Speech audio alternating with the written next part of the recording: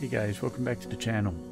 Today I got a little bittersweet video of me waiting for my teammates. We're going to do a last practice before the National Tennis Center shuts down for the US Open and the other tournament that they're going to have back to back.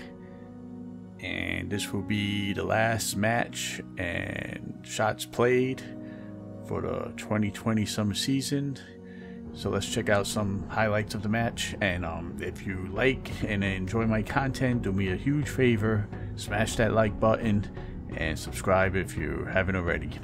Thanks for watching.